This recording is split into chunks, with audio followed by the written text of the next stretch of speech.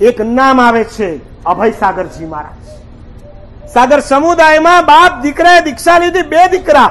એમાંનો મોટા દીકરા કંઠમાળનો રોગ થતા દીક્ષા લીધા પછી થોડા સમયમાં દેવલોકમાં જતા રહ્યા.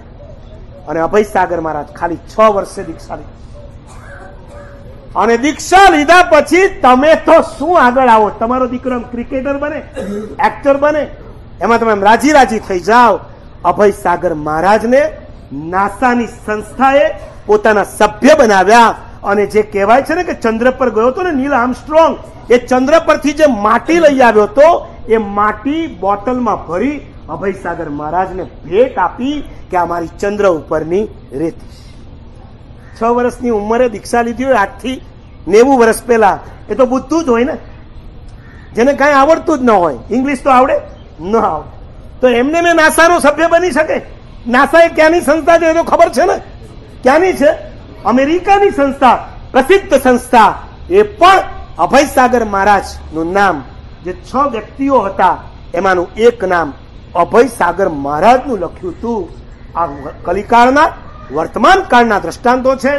ચાહે જંબુ વિજય હોય, ચાહે નરત્નસુરી હોય, ચાહે અભય સાગરજી હોય, આવા ઘણા ઘણા દરેક સમુદાયમાં છે. આવા દરેક સમુદાયનો ઇતિહાસ જો કોઈને જોઈતો હોય, એ બહુ સરસ પુસ્તક છે.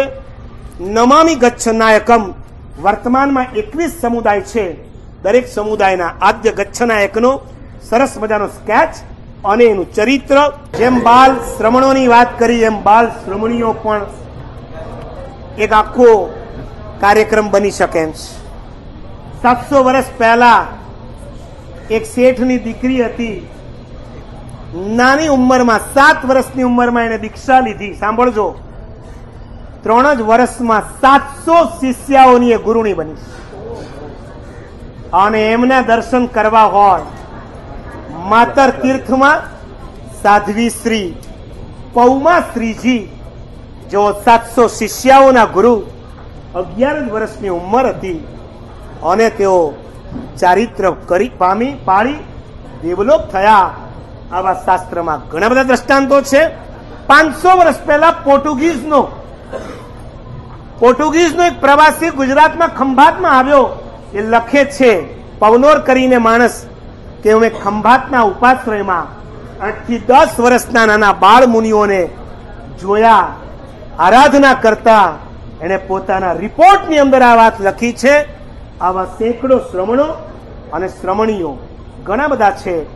પરિચય ન હોય એ વાત જુદી છે, પણ આઠ, નવ વર્ષની ઉંમરે અદભુત રચના કરનારા છે એમની રચનાઓ તમે સાંભળો તો છક થઈ જાઓ. કોઈના બે બે દીકરા, દીકરીએ લીધી આ તો જરાક આપણે વહેલા કર્યું. બાકી બપોરે આ પ્રોગ્રામ રાખ્યો હોત ને, તો અમારા માતુશ્રી પણ ઊભા હતા આજે બપોરે તેઓ આવી રહ્યા છે ખાસ આગમની દીક્ષા માટે અઠ્યાસી વર્ષની વયે ઘરમાંથી જેઓ બહાર નથી નીકળતા એ આખા મુંબઈથી બહાર, મહારાષ્ટ્રથી બહાર, ગુજરાતમાં આવી રહ્યા છે.